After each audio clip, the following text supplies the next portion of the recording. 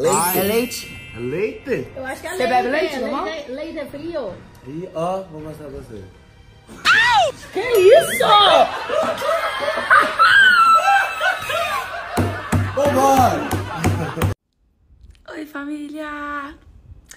Tava sumidinha, porque não foram dias fáceis.